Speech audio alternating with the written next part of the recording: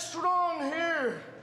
You know, balance is life. If you think about it, when we're first born, we learn to balance sitting up so we don't fall down.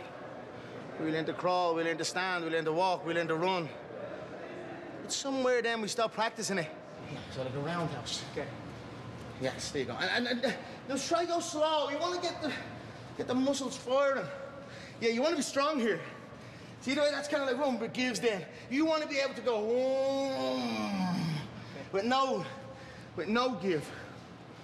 Somewhere then down the line, we just we're, we're good now. So oh, I like to take it back, and you know I've always worked on balance training. Give me more of an arch on the at the end, at the final bit. So this last little bit has to be. Oh. It's very good for martial arts. Very good for everything. If you're balanced, you're in control. So it's important.